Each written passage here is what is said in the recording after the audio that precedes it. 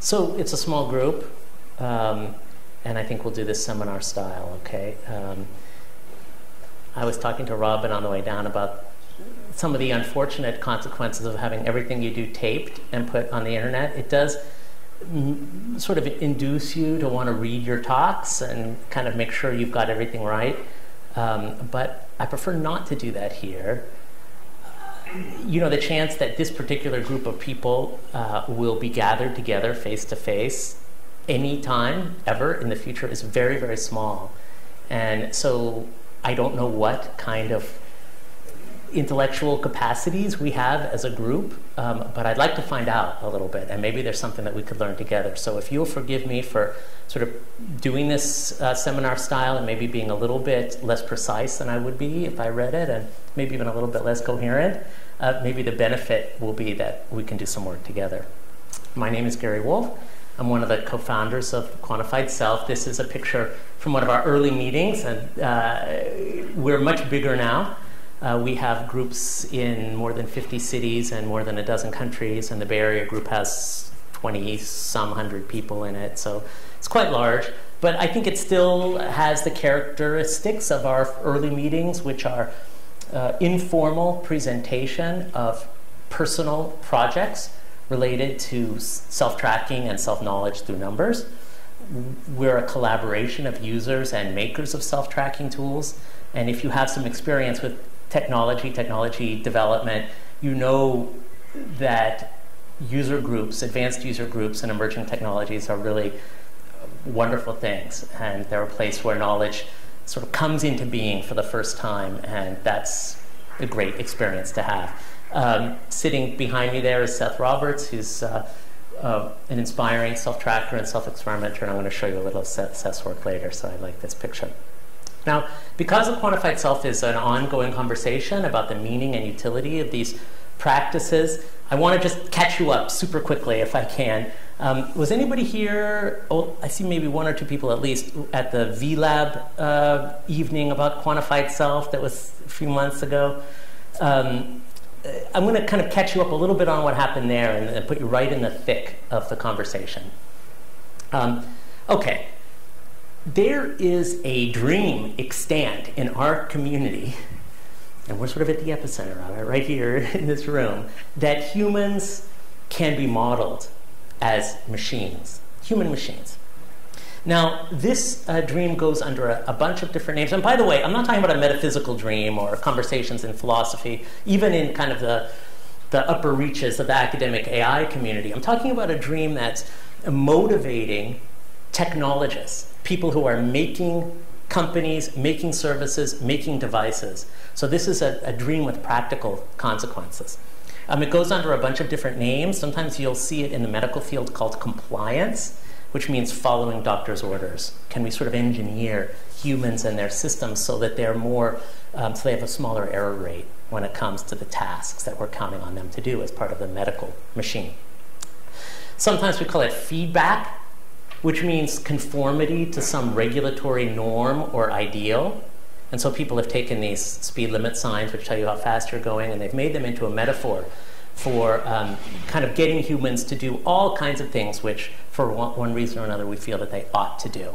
This is quite machine-like if you look at, at this device. I'm not sure we're modelable at this level of simplicity, but in any case, this is the dream.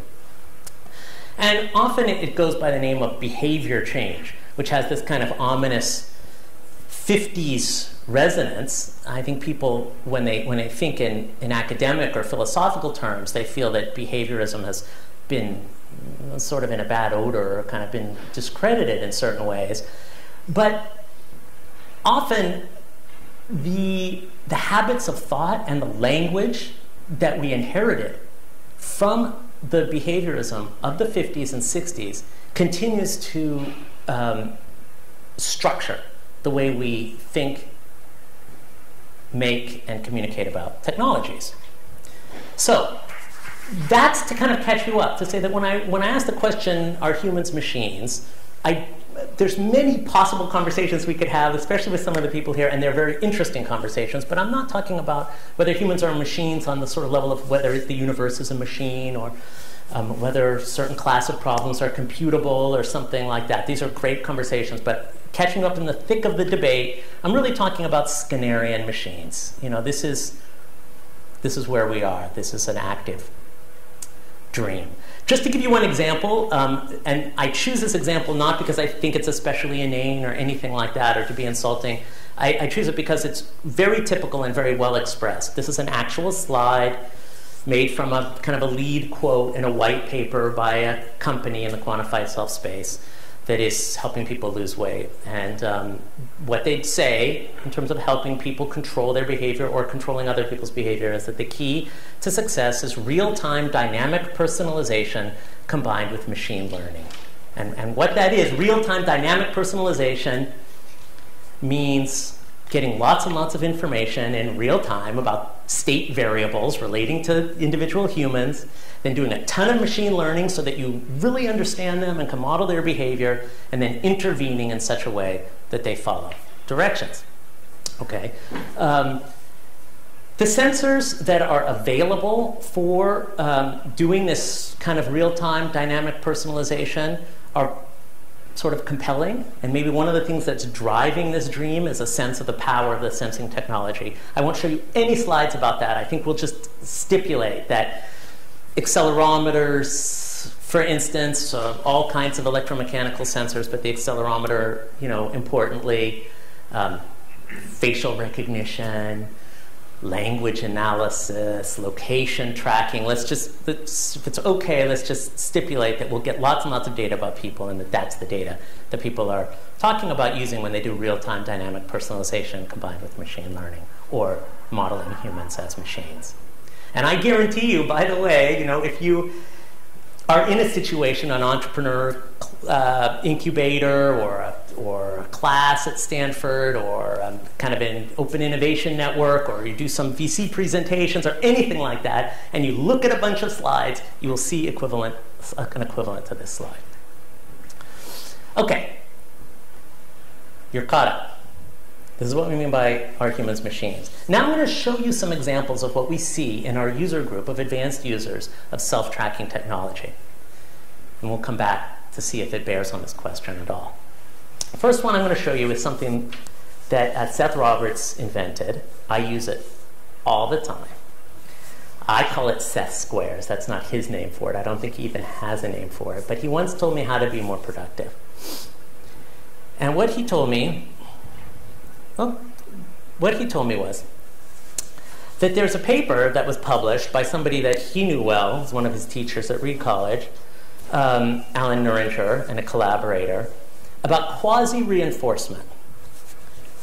And I'll give you, this is where I probably ought to read, but let me give you like a, a really quick sketch, and, and my apologies if I get some of the details wrong. But basically, you've got a pigeon. Pigeon are the classic animal for conditioning. They got a pigeon and it's pecking for food. And the food is being delivered, I think, on a variable schedule, but it's also, it's not very, the food delivery is not very generous. Let's just use that as a fuzzy way of describing it since I forget the exact details of the schedule. Now you use a neutral stimulus, not paired with food, okay? Just sort of every few pecks, I think it is, like a flashing light the existence of the neutral stimulus will increase the pigeon's pecking. Okay, somehow some connection is being made. Like the food is not, the food is maybe on too long a schedule and too kind of hard to calculate maybe if it's varying in certain ways for the pigeon, but the light is helping the pigeon sort of make the connection. And, and as Seth puts it, it's like you get like twice as much work for the same salary. Okay, just through a neutral stimulus on a regular short-term basis. So Seth, yes? Is the stimulus associated with the reward?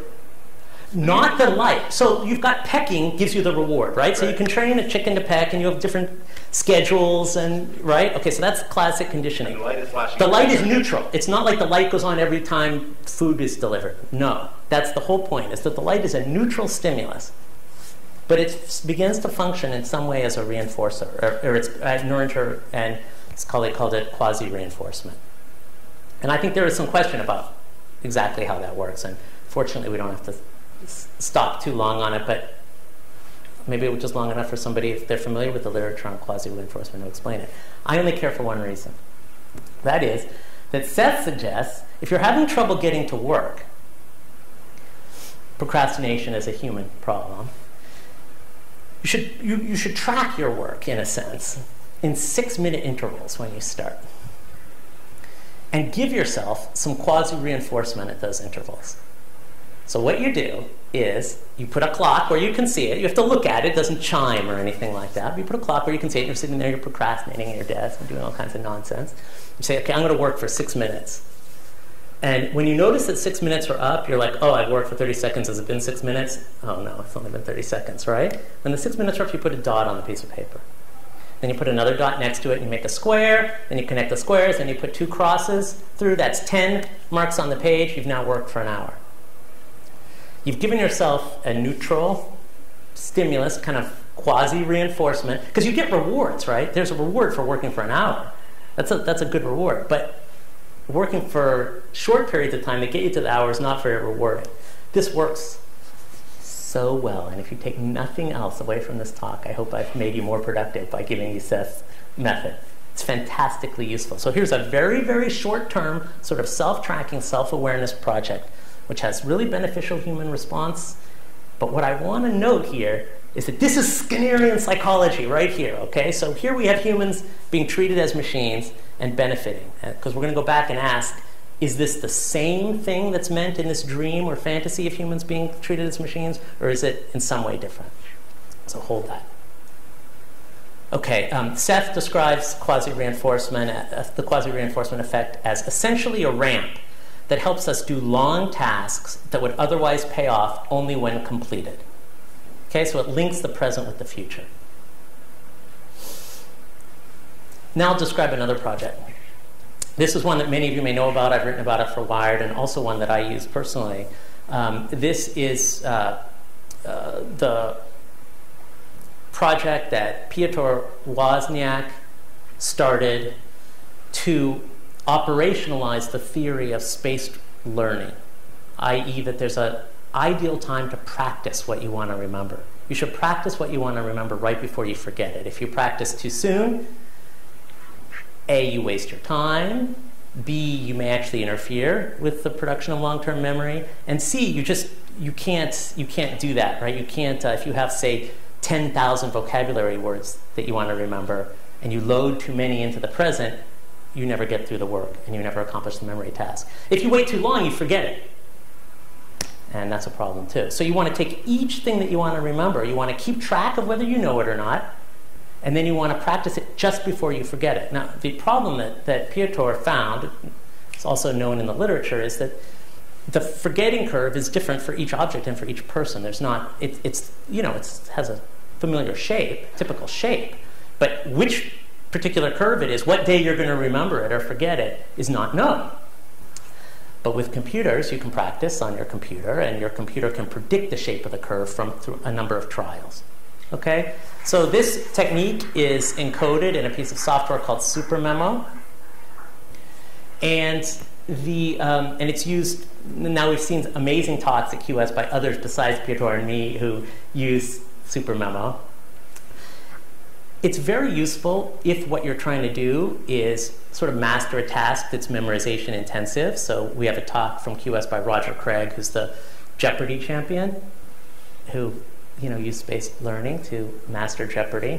He crushed his competition in the Tournament of Champions, by the way, like just destroyed them. Um, we've had a good talk uh, about learning Chinese. We've also had a really interesting talk by Stephen Jonas about memorizing trivial information in order to induce curiosity. And he was not satisfied with his sort of state of his ability to interact in intellectual cultural exchanges. He was a young person, and he decided that he would start learning things. And as his first experiment, he memorized places and capitals, which he considered himself to be somewhat trivial.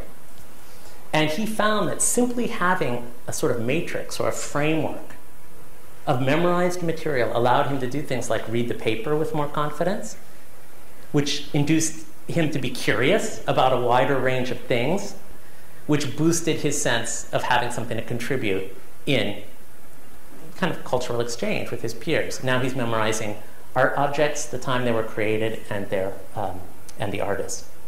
So here you have again, memorizing things is really hard work and not very rewarding. The rewards come sort of at the end. But you have tracking something in a machine like way, such as your forgetting curve, being used as a ramp to achieve really um, rewarding goal. Okay, I'm going to talk about a completely different example now. Lindsay Mayer recently gave a talk at QS about tracking her hearing loss. She had sudden hearing loss. Um, it's very frightening, especially when that sort of thing happens when you're in your 20s. Complete loss of hearing in one ear. She described the uh, medical regime that she went through to try to unravel this. It cost many tens of thousands of dollars. But because she's sort of self, she also measured her hearing using a free audiology app on her iPhone and was able to show that the results of her self measurement matched pretty much exactly the professional audiology exams that she was getting at several hundred dollars a pop. Moreover, she could plot the effectiveness of her treatment and decide for herself when to stop treatment, when she was getting as steroid injections, um, when she saw diminishing returns. Now, there's lots, we could do a whole talk just on this. This is sort of the medical field, because it looks like she's practicing medicine on herself. But what I think is interesting to note here is that she's not really practicing medicine the way medicine is practiced. I'm sure you're familiar with the buzz, buzzword uh, evidence based medicine. Evidence based medicine means looking at population level results in order to determine treatment practices. Okay? In evidence based medicine, what Lindsay's doing is not evidence. This is an anecdote at best, maybe a case report, if you kind of nudge it a little bit. The model of humanity in the medical field is a very complex model, a, a, very big model. It involves sort of elaborate predictions about the behaviors of whole populations. And what Lindsay did is model something that is at a completely different scale than a medical model. It's at such a different scale that even the vocabulary of evidence in medicine doesn't really apply to what she did. What she did was reason about herself, using data about herself, and use that data actually critically to critically reflect on and examine the model that was presented to her by the professional modeler, i.e., the doctor, and make her own decisions. Okay, I'm going to give you one last example. And I choose these example in part because they're so different from each other. So Thomas Christensen tracked his sneezes he wrote down, made a note, actually had an app on, or a little, just date, date you know, um, database that had a, a, form on his iPhone. Actually, I shouldn't say that he used an iPhone because I'm not positive that he did. Um, on his phone, and um, he, every time he sneezed, he noted it. Now, he had debilitating allergies, so he had a good reason to do this. And over time, over a couple of years, he did solve his allergies through experimenting and being able to know, you know, when his experiments worked. And he did some neat things like he tracked his um, tracked pollen count um, to determine whether the changes that he saw as a result of his experimentation were confounded by the amount of pollen in the air. What interests me, though, is something else that he experienced when he began tracking his sneezes, his sneezes were experienced as less debilitating. So here you have something that's very, a sneeze is very machine like. So, in a sense, when we sneeze, we're acting like a machine. And it, you know, if you sneeze too much, it really bothers you. You're sort of trying to escape from, from the machine. And by, um, by sort of asking the mechanical, by representing this mechanical process, in a way that was available for, to his cognition, he changed the meaning of the sneeze and made it something that he felt that he could act upon using a different sort of component of himself. So just, we'll just kind of hold on to that for a second. So in all of these cases, I, the, the, the thing that's interesting that they have in common is that they're modeling an extremely small, seemingly trivial component of the self. Whether you memorized a fact, whether you sneezed, whether you heard a tone, whether you sat in a chair for six minutes. In a sense, the dream that I spoke of earlier is not very effectively activated by any of these experiences of becoming the quantified self. And this really interests me. You have this dream of the self as a machine, you have technology that seems to be getting us closer to that dream, and then you have practices which don't use the, that same vocabulary and don't seem to act, activate that dream. Now, for a final thing for us to sort of think about before we start discussing it, I want to ask well, does that dream ever work? You know, does the dream of kind of effectively predicting human behavior by observing them, collecting data, and then kind of getting them to behave like a pigeon pecking the lever that you want them to peck? Does this ever really work? Because if it does work, we can ask what's special about the context in which it works um, and see to what extent that's generalizable or desirable. Well, the obvious ways that it works are in cases of addiction. Addicts are um, quite machine like in their behavior. Um, there's some great research by Shepard Siegel. I won't try to um, gloss it here, but maybe just tell you to go and look at it. Um, who, who, he's described the way in which addiction um, is a learning process. And he describes there's been a lot of work done on addicts' brains. They're very tempting, right? Because you can sort of look at what happens in a controlled context. It's like a, almost a laboratory behaviorist experiment. And you can see that these stimulus response loops or associations that addicts have are in competition to some extent with the associations that, that we think of in, in, a more cognitive sense, the action outcome associations. So addicts actually become less sensitive to negative outcomes, which would, you know, constitute a part of learning, right? Um, because they're locked into these stimulus response loops. As uh, Siegel says, drugs of abuse bias individuals toward habitual responding specifically via the dopamine dependent stamping in of drug associated memories. And there's some really interesting details there about how, in a way, evolutionarily, you would expect stimulus to response to trump action outcome because you know this is error detection right like you have some theory about like if i take this action it will produce this outcome and you get some a response that's um, that's that's sort of highly noticeable um, you ought to you ought to um, be guided um, you know, not touch the hot coal again, you know, even if you want to move the fire. Um, I'll read you this quote from another paper that talks about the kind of competition between stimulus response and action outcome, even though it's a little technical. Uh, because the stimulus response association does not incorporate a representation of the outcome, stimulus response associations are persistent despite changes in the value of the outcome, for instance, when devalued. There's a kind of a technical way of saying that your, um, your action outcome learning is inhibited when we engage these stimulus response loops. If you behave like a machine, you're more likely to continue behaving like a machine. Okay, let's look at this in the real world. Uh, there's a beautiful book that's, it hasn't come out yet, but it's out. I mean, the galleys are out. Um, uh, called Addiction by Design Machine Gambling in Las Vegas. And I'm, I'm going to review it for Wired and recommend to everybody that I know that they read it um, because uh, Natasha Dow got deeply into the design of casinos and gaming machines and into the lives of compulsive gamblers to understand how this system of manipulation of human consciousness works at, at a fine level. And one of the things I think that struck her was the uh, confidence of the designers of these systems that they could control human behavior. Um, one quote that's in the book from this is a quote that she is quoting somebody in this book who's a part of the industry. The more you customize your machines to fit the player, the more they play to extinction.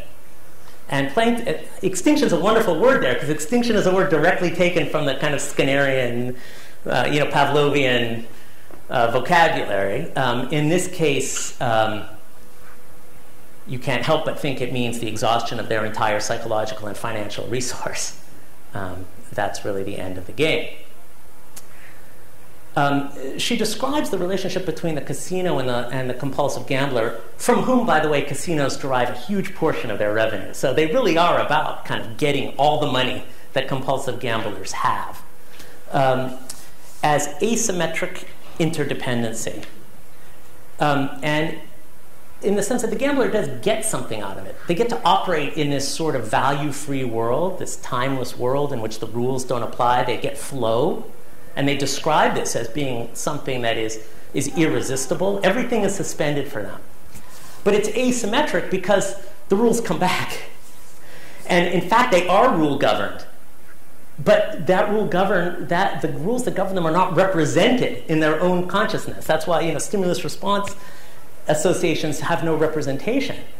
So this being having kind of existing in a world without representation, this actually is something that people seek.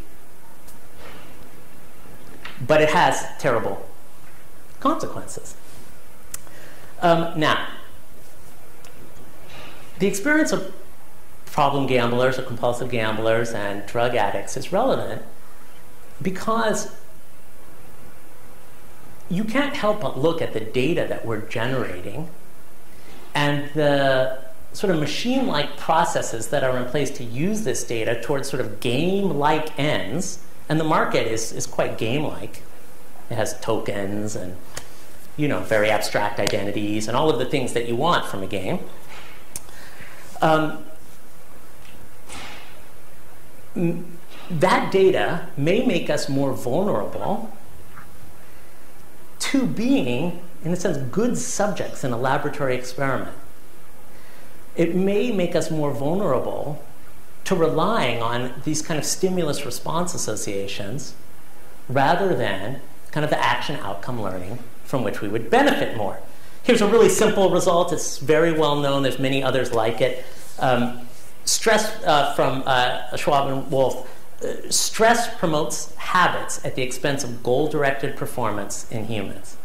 It was a very nice little, complicated but nice little experiment they did where they sort of they got people uh, habituated to a certain reward like chocolate milk or orange juice and then they satisfied that desire so that devalued the outcome right they gave them as much chocolate milk as they wanted for a while and people said like you know i don't want any more chocolate milk and stuff like that and then stressed subjects continued to respond as if they were being rewarded by the chocolate milk, whereas non stressed subjects, their um, pattern of response changed. So, what was happening there in the stressed subjects is that although the value of the reward had decreased, the habit persisted longer. So, here you see, like, something that's a little scary, right? Because these devices now, many of them, uh, the data that we generate can, can show when we're stressed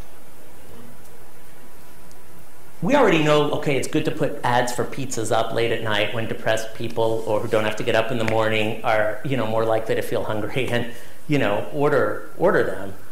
But this, you know, uh, stress detection and other sensing technologies take that vulnerability to a different place. Okay, now here is the, where the slide would go, where I told you what the solution was and what the answer was how we can use, say, engagement in some of the techniques, practices, and knowledge generating culture of the quantified self to help us in a situation where the world is becoming more like a casino and where are the signals we're emitting make us more vulnerable to being treated as machines and to acting as machines. But I don't have that answer. We're part of that conversation. That's what's going on at the quantified self, and I think we have plenty of time, and maybe I'll just open it up here. Thank you. So let's, let's talk about it. Yes? Uh, just before I came here, I was reading a uh, World Future Society publication, and uh, they described a, algorithm that's being developed right now whereby a, one, a researcher had uh, 60 people uh, for over a period of time uh, note where they were located. Uh, with that, they feel that they can predict or have predicted where you will be two or three days from now Right, and this is one of many, many, many sort of um, modeling projects that are that are ongoing. Yeah, yeah. I mean, some of them are just astounding. Yeah. Go ahead. Um, I was really interested in these points about addiction and that sort of thing. And in my own sort of research interest, I'm particularly interested in media diet.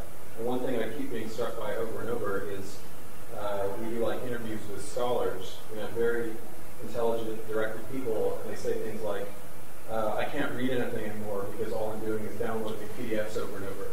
And they describe these like incredibly compulsive, like incredibly non-optimal media diets that are happening to them. That's fascinating. Signals happening, you know, and it's like there's there's this vast realm of, of improvement to, to be done there if you can change that behavior. Great, Robin. Actually, I was going to follow up on what he said. Oh, yeah. And, um, I, I want to know, maybe you know the answer to this. Those studies which predict people's where their location is going to be after having tracked them for a while, have any of them been done outside university campuses where people have timetables?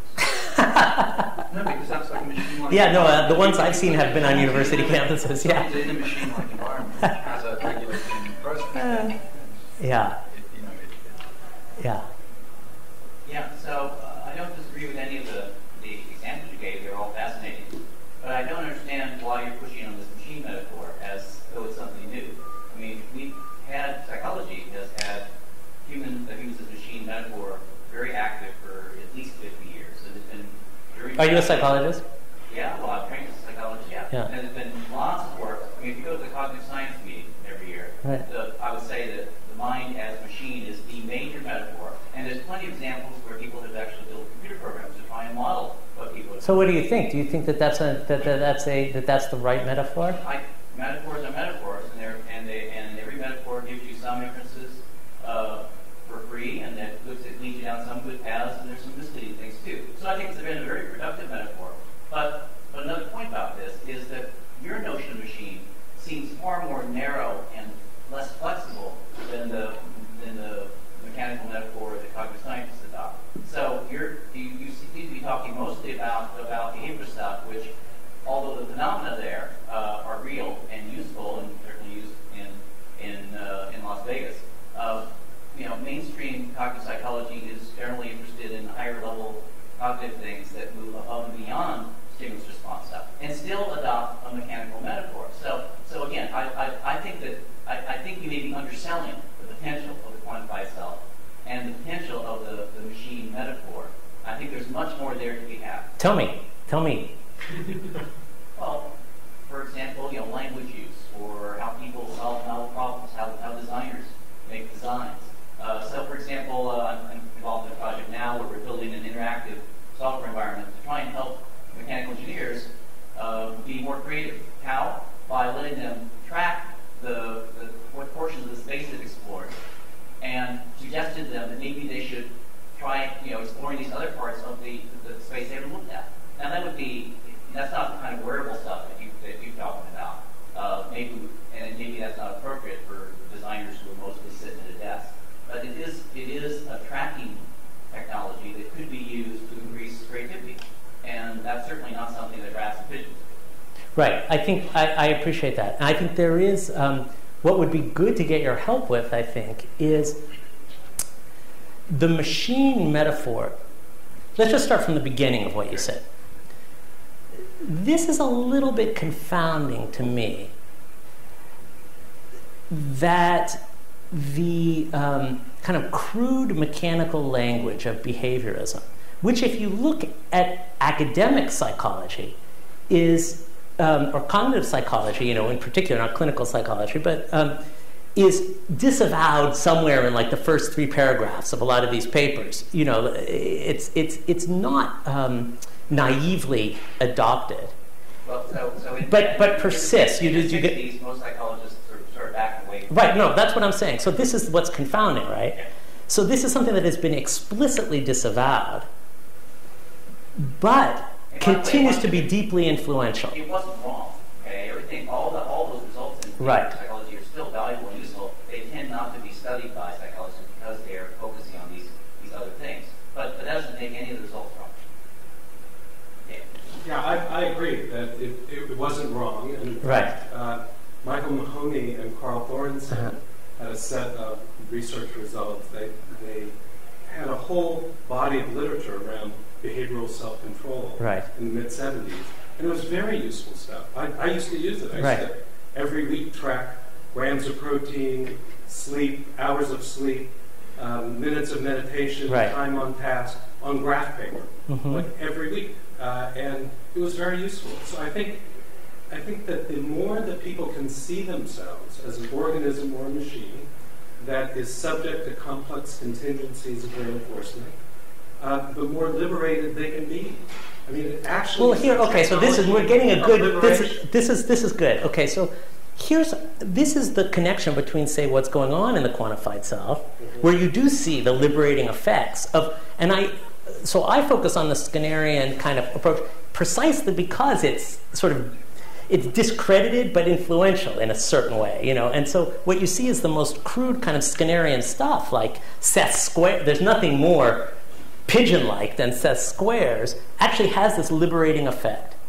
At the same time, the metaphors, sort of the dreams and the fantasies of control of human beings, seem like they're part of that discredited legacy, which really is, is should should have been sort of more honestly disavowed. And I think one of the reasons there's work to do, if something's not on, not not if we don't get beyond it, it's not because we don't want to get beyond it. It's because there's some piece of work. And and so the question is, those embedded mechanical type of uh, the, the mechanical part of ourselves, the Skinnerian self. What is that embedded in? Uh, the only problem with that is no, yeah, all of ourselves are mechanical. Okay, The mechanical metaphor. But what do you mean by that? Everything. Emotions are mechanical. How do, what do you mean by that? What machine are you referencing when you say it's mechanical? Uh, we have computer programs that, that mimic it. So a computer, you're basically saying that all of the human is basically a computer. Well, not their physical, not not every aspect of the physical. Well, molecularly, you could say, right?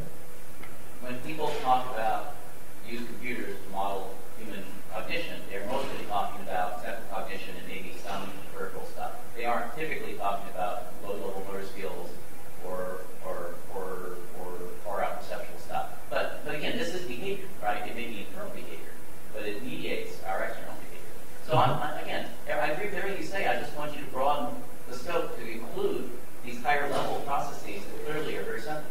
Okay, but this is what I'm. This is the work I'm trying to do. What I've observed in the quantified self is that the benefits of these tools, in practice, not not in terms of getting a paper published in a lab, but in practice, are actually quite low level in the sense of like they're they're not, um, and yet they're embedded in a rich personal context, which is not treated as machine-like. So while the machine-like metaphor may have, you know, tremendous um, value in a, in a context, in an academic context, it actually seems kind of um, uh, something else is going on here. Yeah, yeah, you know, just continue. your Yeah, inquiry Yeah. about the use of the language, Yeah. sort of the holdover from old-time uh, Yeah. Even B.F. Skinner took a look at this again. He wrote a book before he died called Upon Further Reflection.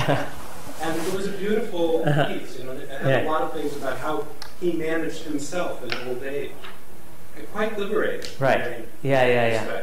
And I think part of this language, the sort of taint of, Right. of machine metaphor, has to do with people thinking of machines as sort of robotic, Yeah. brittle, Inflexible. inflexible uh, devices or behaviors. When in fact, you know, when you see a, a beautiful ballet, Uh-huh. I mean, absolutely exquisite. But that's not a machine. Well, no, it is a machine. How- It's how is it a it's machine? it's a set of biological machines prancing around on the Okay, stage. okay, And that's, that's point. okay. That's fine. Those machines are different kinds of machines. Well, yes. you know, I, I, what I'm saying is if you expand, you Yeah. want to use the machine But. Daniel Dennett does this. That I'm, I'm fine with that. Yeah. Basically, he says the universe is a machine. So No, if the universe it's is a not- machine, not then devolving into yeah, that. yeah, yeah, yeah. That's a different. Okay, okay. I'm saying that machines can include uh, ballet performances, and when that when that's possible, when you can admit that, then you can see that humans as machines have a lot of degrees of freedom. So you mentioned these sort of low-level behaviors. And they're kind of machine-like, and, Right. and yet and yet we see ourselves embedded in kind of a rich matrix Right. with a lot of degrees of Right. freedom. Well, that's the point. That when you when you develop really complex machines, they do have a lot of degrees of freedom, even some entropy built in, and that perhaps gives us more Okay, I'm. Creativity. this is I I I I honor that vision, Mhm. but I I suspect it may be, at the current time anyway, kind of a pernicious fantasy, because what happens is that vision is taken to represent the capacities of systems that people are building now. So, for instance, you have people saying, "What we're going to do is we're going to um, we're going to um, we're going to track people's behavior at work as part of a corporate wellness program so that we can help them reach their, their, their personal fitness goals. Right? And that model, the model that they use to do that, is very impoverished compared to the model that you just described. It's sort of a free machine ballet, right? This is, a, and in fact, it's experienced as such. It's experienced as like, yeah, they're going to dock, they're going to dock me another of my insurance credits if I don't obey this machine, you know? So here you have, I think the vision that you described is being sort of um, used as advertising Well, for experiences that are pretty terrible. Yeah. Yeah.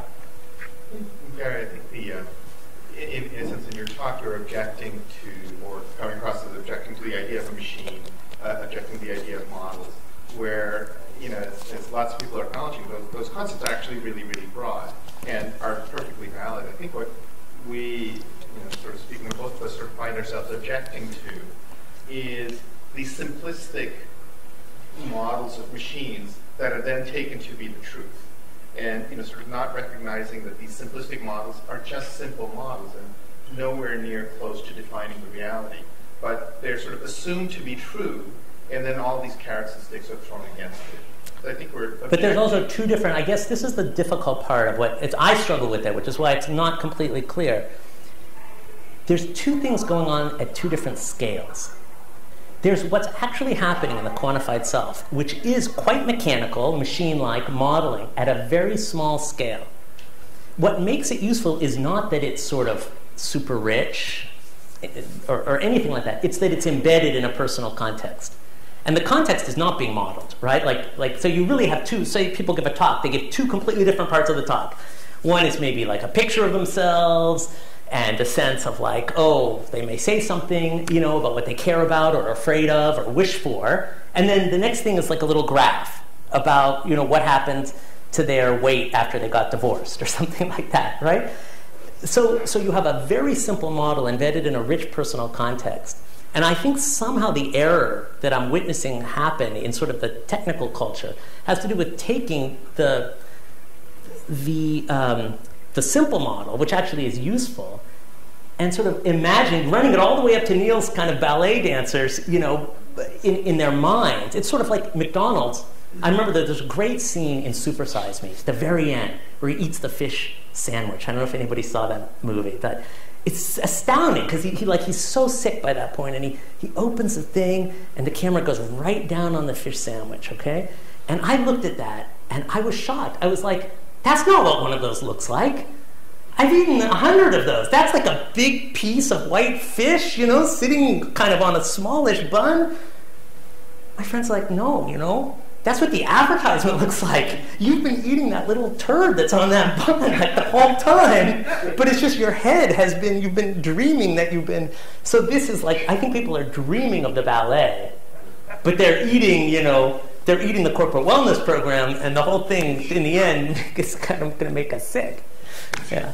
Okay, so a couple things. Um, so before I came, I was like, I want to immerse myself in some Gary Wolf thinking. So I went back and read one of your old articles about Ray Kurzweil, and the last quote was awesome, which I tweeted. It's the robots of Kurzweil's dreams are complex, funny, loving machines. They are as human as he hopes to be. Yeah. So that's like just to Neil's point about like this Yeah. idea of robot as not simplistic. Right, like if you're around Ray, he he aspires to an extremely rich sort of human performance. He is not his aspirations are not robotic aspirations. And he has personal challenges like we all do.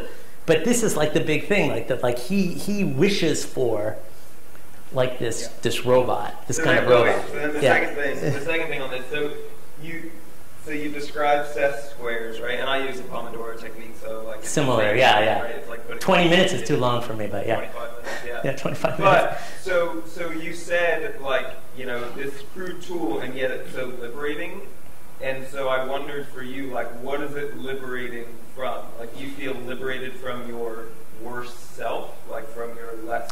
I think that self? the Seth's idea of a ramp is one way to look at it. For me, I look at it as as like um like a using these self-tracking tools. Now, I'll just speak personally as a self-tracker. Using these self-tracking tools is a way of making representations to your consciousness of these lower level processes. So eventually you can sometimes you can drop them, right? Like because you're trying to entrain new you're trying to align your behavior with your goals.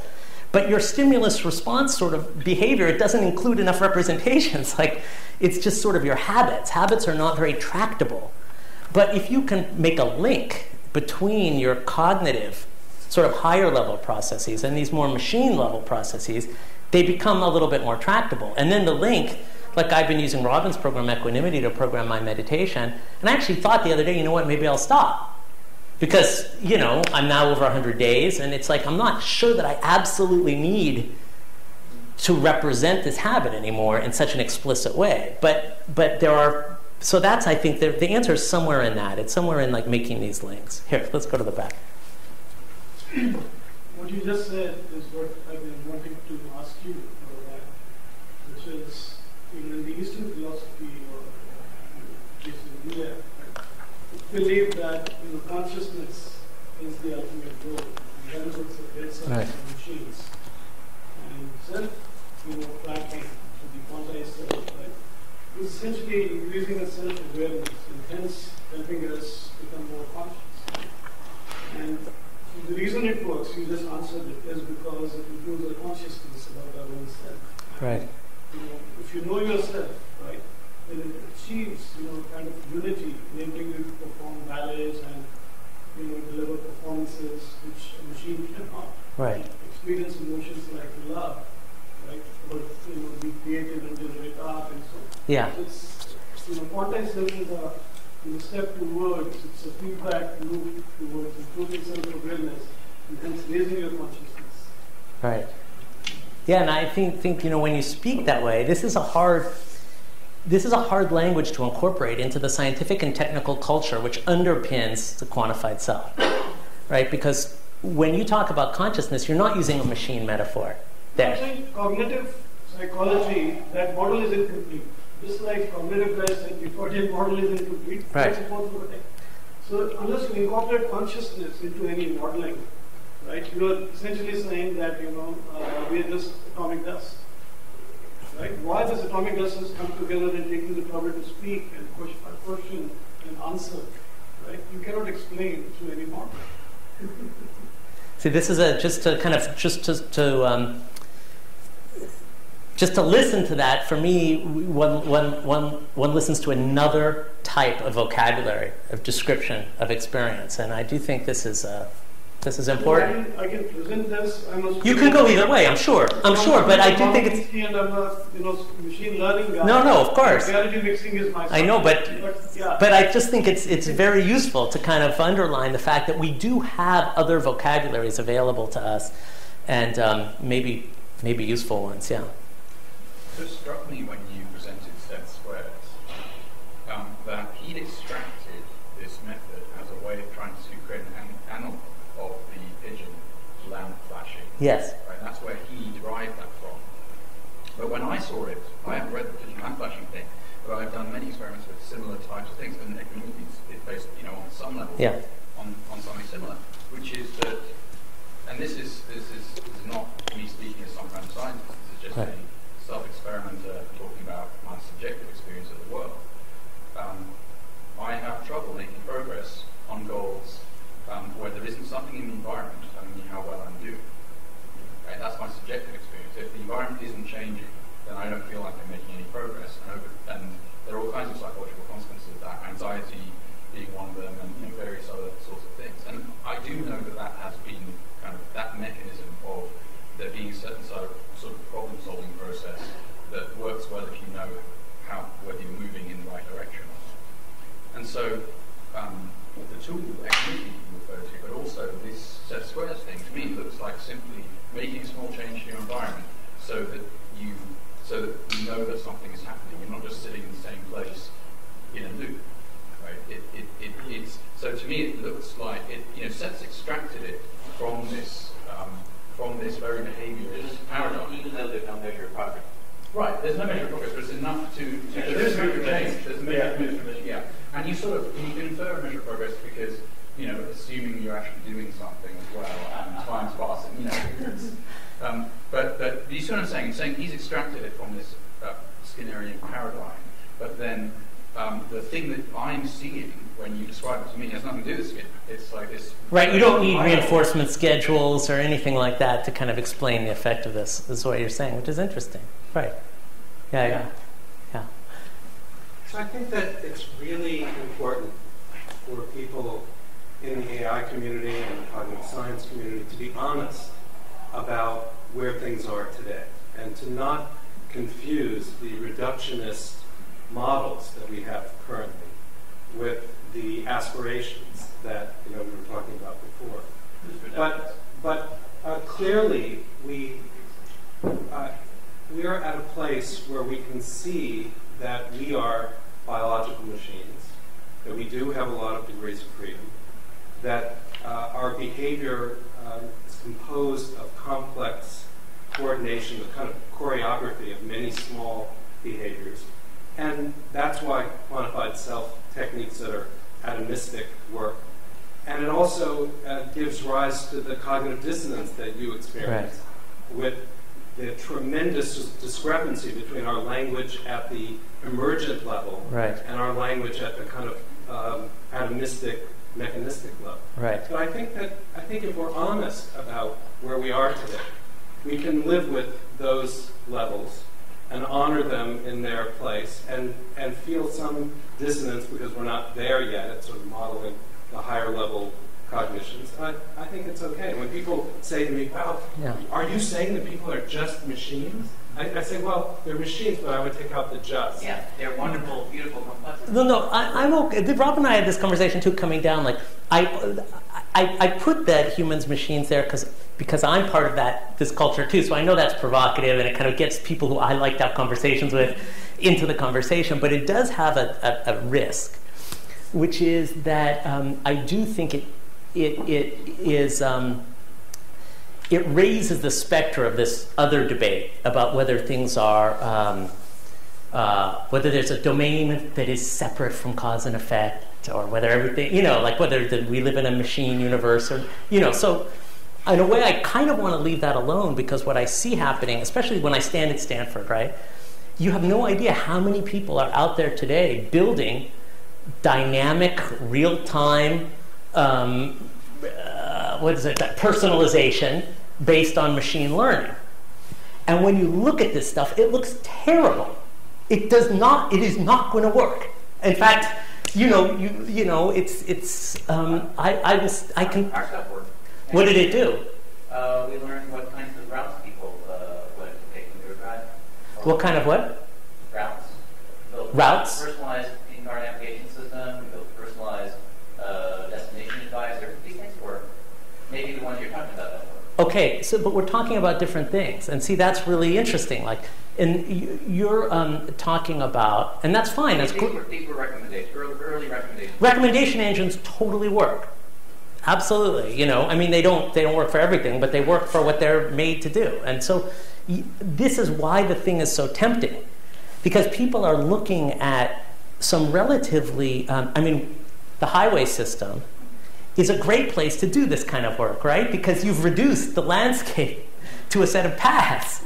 And once you do that you're golden right? Like and especially because you know things like velocities and you have like you know you've got gates and you've got everything you need to build a system. Now you still have some chaotic things but nonetheless you can do a lot better than no computing on, in that kind of context. What's happening is people are importing the vision of being able to operate on these sort of constrained machine like nothing is more machine like again than getting in a car and driving on a highway systems into more personal and intimate dimensions of the self. For instance, big one is weight loss. So let's just keep on that one. This is very, you know, this is very alive. We are going to get people to lose weight through understanding what makes them gain weight, and you know, um, etc.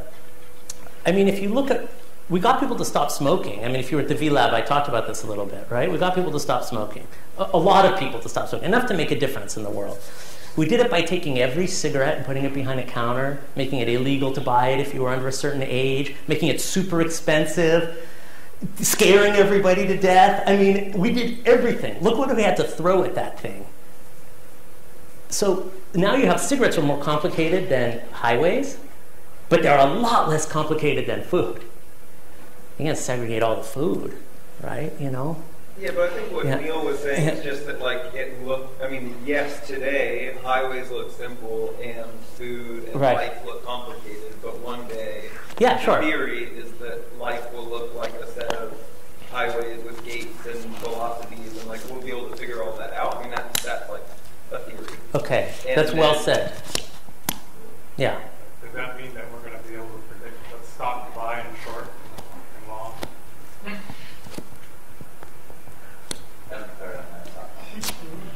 But it, it occurs to me that one of the things that you observe um, in your sort of privileged, um, like overlooking the Mhm. mm self movement, is that you are seeing these technological artifacts, as in, you know, people are taking people are taking current science and creating um, tools, you know, based on their interpretation of that science, and then they're emitting them into the human community, and then you, for various reasons, you know, sometimes to change people's behavior to solve a problem, sometimes to satisfy an ego need, like you know, sports. There's a lot of sports stuff that's all about competition, you know.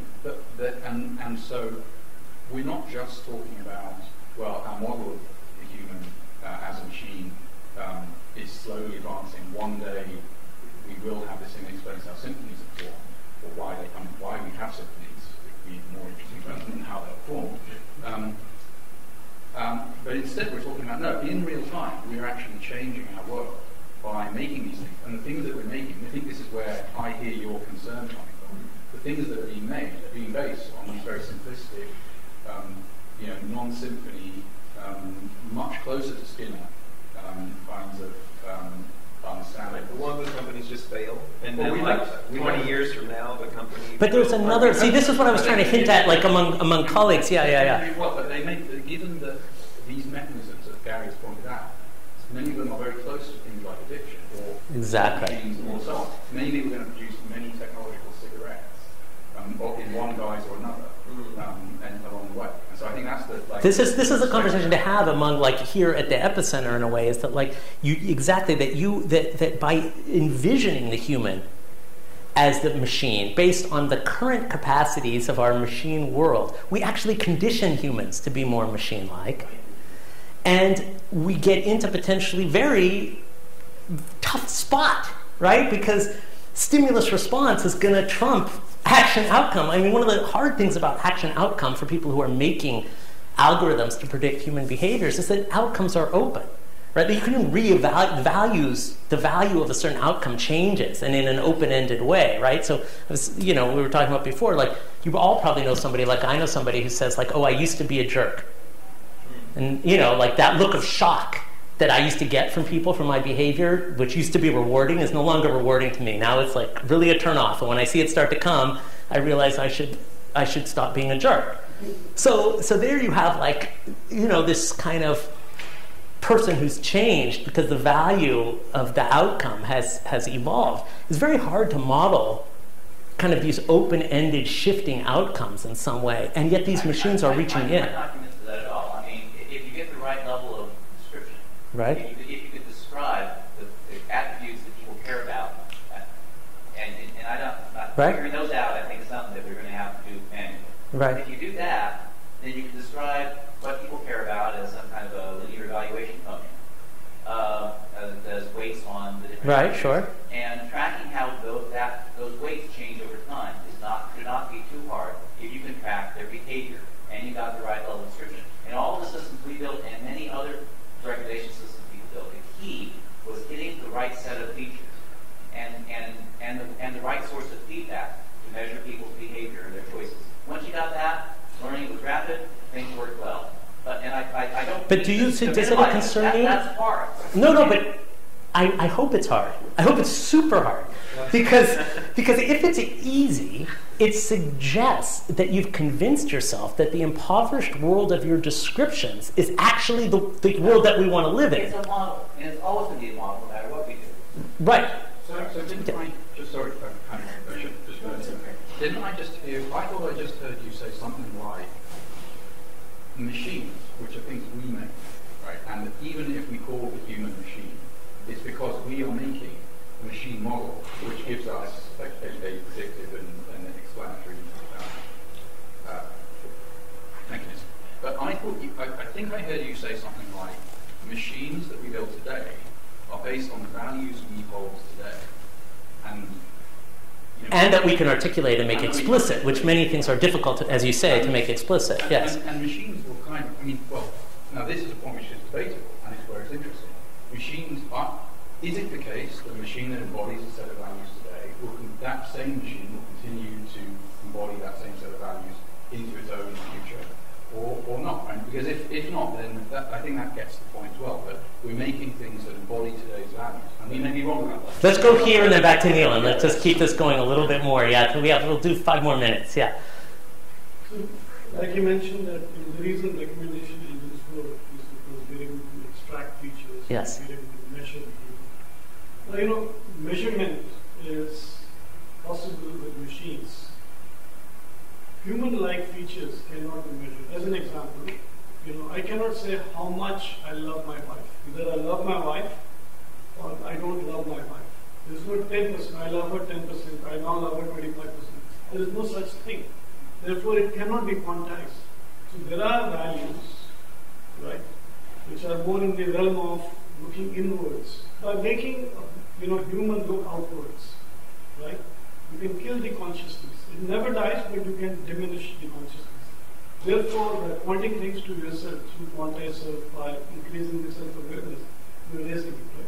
But the larger point that I'm making is the fundamental, you know, thing that you cannot model is the consciousness itself because there are no quantities there.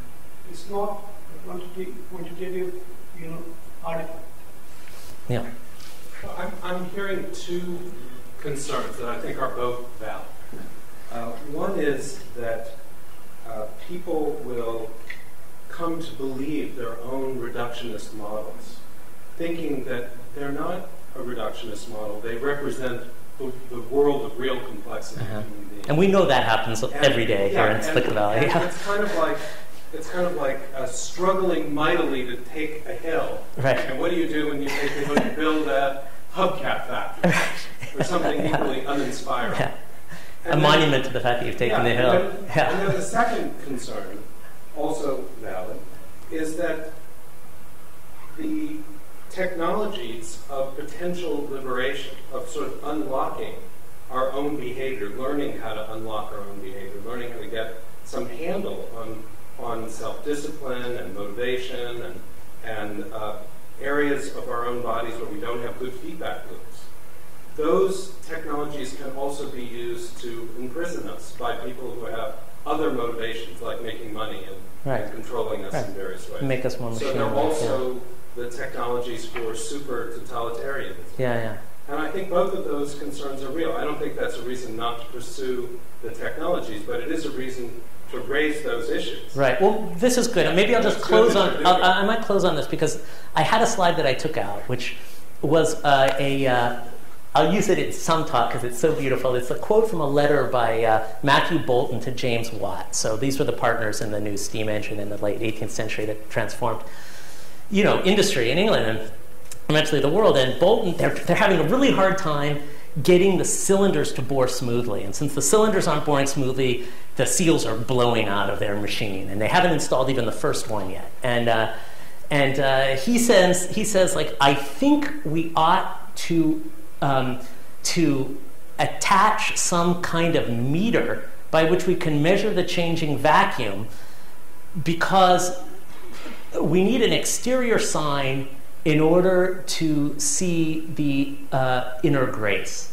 or something like that. Okay, so he uses this radical dissenting, because these are part of this kind of dissenting, if you know kind of the history of the Protestant Revolution, these kind of dissenting culture in England, out of which also came some of these inventions of the Industrial Revolution. Also, like big anti slavery people, you know, out of which the, the kind of um, uh, anti-slavery movement arose, and many uh, women's education. You know, so you have these these kind of forces of Whig progressivism building these also these industrial engines, which will become the engine of enslavement, really, of masses masses of people around the world. And I think it's not an accident, right? It's not an accident. Engaging in these technologies and kind of is, is engaging in the problems of the future. And so you engage in both sides of, the, of, of those problems. And so, you know, this, I think you're exactly right, that like, you, you have to touch them. If you don't touch them, you, you know, you don't, you don't, you don't get to have any kind of word. But um, something is happening in the quantified self where people are using these tools for personal reasons